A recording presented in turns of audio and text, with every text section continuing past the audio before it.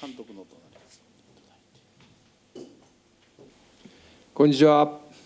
えーよろしくお願いします、えー今年度からアスルクラブを、えー沼津の監督を仰せつかりました今井と申します。一般的になりますけども攻守の切り替えだとか攻撃時守備時とかそういうこう映像的なものも用いながら選手と共有して、えーまずはクラブとしてどういうサッカーを作り上げるかというものに対して、私の持っているノウハウが、力になればというふうに考えています。目標は、えー当然やる以上はチャンピオンにならなければいけないというのがプロ選手の球団が持つ宿命ですので J3 というカカテゴリーの中でチャンピオンになるということが目標であります。皆さんこんにちは、えーコーチの山下後藤です、えーコーチになって、えー、身の引き引き迫る思いでいっぱいです、えーチームのために頑張ります。よろしくお願いします。えー皆さんこんにちは、えーゴールキーパーコーチに就任しました、えー武田幸雄と申します、えー昨年度は、えー YCC 横浜というチームで、えー指導しておりまして、えー横浜から沼津というこう港を渡り歩く、えーそのような形でこの沼津に、えー来ました、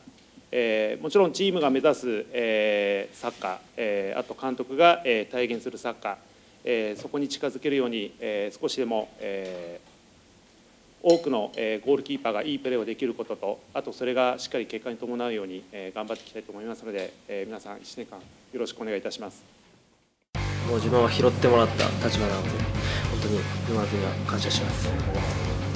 そのまあ選手権終わるまで僕は進路何も決まってなくて、まあ、行くところない中でオファーしていただいてますし本当に、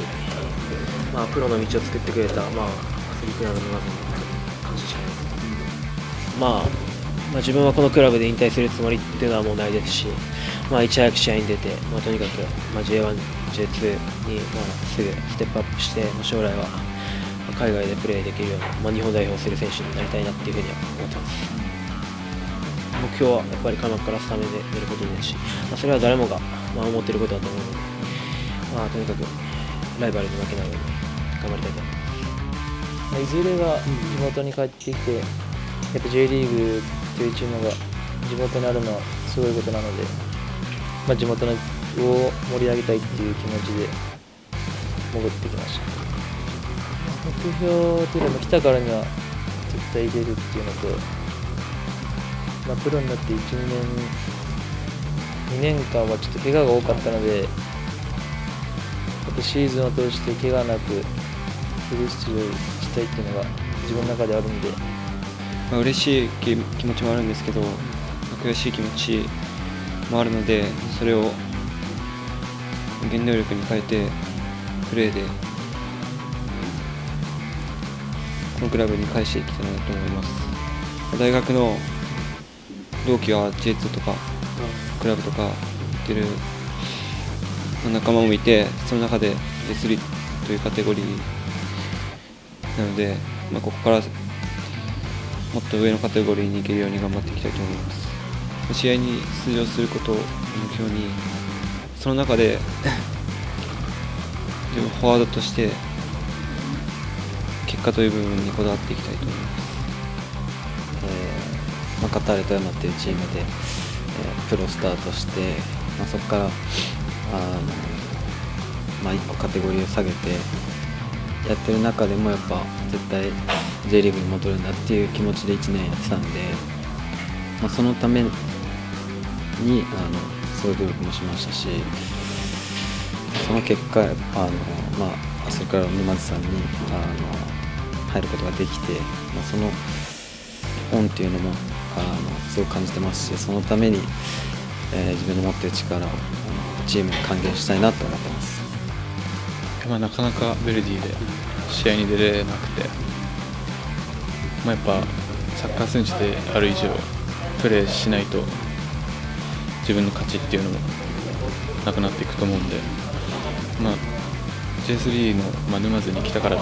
といって簡単に試合に出れるとは思ってないですけど、まあ、環境を変えてチャレンジしてみようかなという思いで移籍しました。本当にこの舞台でこの素晴らしいクラブでやれるということを本当に嬉しく思っています。えっと、試合何度か、あの観戦したり見たりをしていたんですけどもその時にやっぱり思ったのは本当に一人一人がチームのために全身全霊を持って戦っていくっていうことをやっているチームでこを本当に全力っていう言葉が当てはまるというかそのようなクラブだなと思ってましたでも自分はフォワードをやっているのでやっぱり前線でしっかりそういうチームのスローガンであったりそういうコンセプトを体現できるようなそんな熱いプレーだったりそれをしながらやっぱりゴールを決めるっていうところがやっぱりフォワードに求められる役目なのでそこをしっかり果たしてやっていきたいなと思っています。J3 でしっかり得点を取っていきたいなっていう目標を掲げて1年間やっていきたいと思います。そうですね、まあ、ずっと大学サッカー4年間やってきてで、まあ、プロになれるなんて自分思ってなかったんででその舞台に、まあ、来れたっていうところが、まあ、率直に率直に嬉しいですしそうです、まあ、それがこのクラブ最初のキャリアがこのクラブであったっていうところも、まあ、自分としては嬉しいので、まあ、頑張っていきたいというか自分により期待しているっていう状況です。まあ、自分的にはやっぱ去年のシーズンで1試合も出場できなくてベンチに入ったのもその2試合最初の開幕とその次の第2節だけだったんですけど、その後もあんまり出場機会がなく練習試合とかも出続けたりっていう2番手の立ち位置だったりとかそういうキーパーとしての立ち位置を確保できなくてやっぱ自分にとっても成長するためにやっぱりキーパーとかだと試合に出ないといけないと思うんで、そういうところで自分の中でどうしようかなと思ってたところに声をかけていただいて、まあ、期待に応えたいといいますか自分の中でも成長できるしその上でチームの力にも貢献できたらなと思ってそこで決めさせてもらいました。まあ、スタートラインに立てたことがまあ一つと、なんかこういう試合出て、どんどんステップアップしていくっていう気持ちが今強いです。まずは本チームで、まあ、開幕からそうですけど、試合にスタメン勝ち取っていくってことは大事かなって思ってます。そうですね、やっぱ、試合に出ることで、その、ていうんですかその見えない自信というか、うん、そういうのがあると思うんでやっぱそこの